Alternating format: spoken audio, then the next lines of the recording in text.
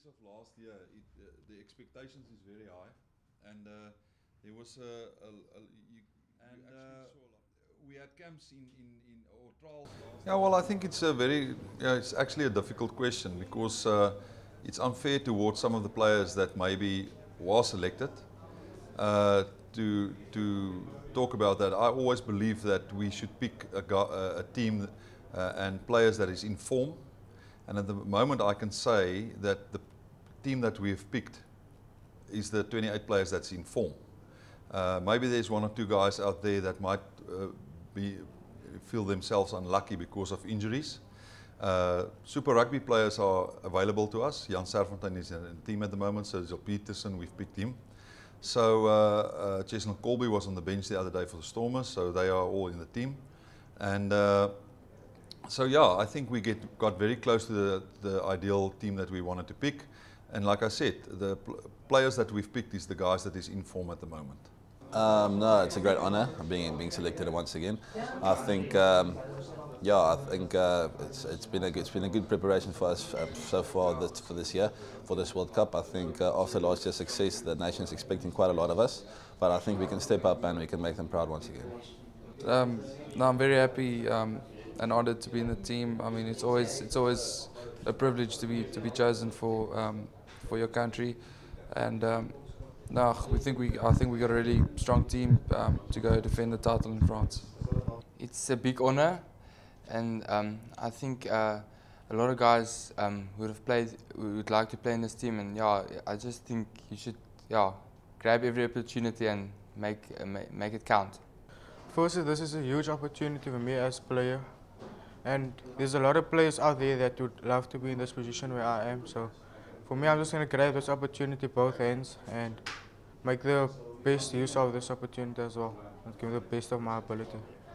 Oh well, last year uh, that was exactly the the way we the thinking were going. Like uh, we know that it was going to be wet in South Africa. This time around, it's a total different situation, and we had to uh, maybe look at a game plan that will suit that situation and that uh, the surface we're going to play on and the, and, and the climate that we're going to play in. And it's the same for the players and the personnel that we've picked for the site.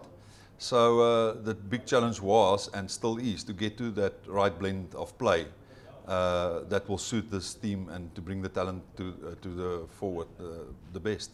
Um, France, uh, it's going to be it's going to be nice. Uh, I heard we're playing there in the summer in the in the south of France, so it's going to be nice and dry um, um, field, so we can we can give the ball some air. We can play a bit more expansive than last year here in, in the winter, and I think yeah, it's going to be it's going to be a great, a great World Cup. I think. Um, I think this uh, Southern Hemisphere teams are going to be uh, dominant once again. If I look at the sides from New Zealand and Australia, they've got some some world class players there, so I'm looking forward to it.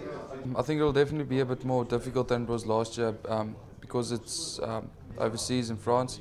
We we also got a bit of a tough pool um, playing England and the host nation France. So um, yeah, no, it's it's definitely going to be a bit more difficult, but we up for the challenge. It's going to be tough, definitely, but um, we have a great team, great players, and I believe with um, great preparation now this month uh, we can pull it through and just work hard, and yeah, it will all pay off. Yeah, we're defending champions. It's, it's a huge, huge task for us as a World Cup squad going to France to represent the under 20 World Cup again.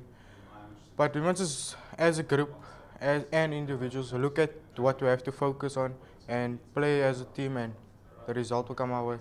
You see, that's the one thing about uh, age group rugby. You start over again. Although we are the world champions of 2012, this is a brand new beginning.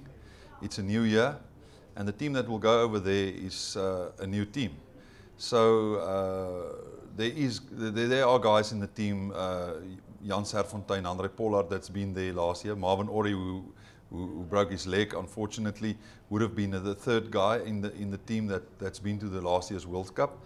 But uh, you know, tremendous uh, experience from Jan and, and, and Andre coming to the uh, that, that they are bringing to this team. And uh, we are looking forward for some new stars to be born in this uh, JWC in, in France. And uh, maybe next year there's, there's another uh, Jan Serfontein or Pollard coming to the forefront.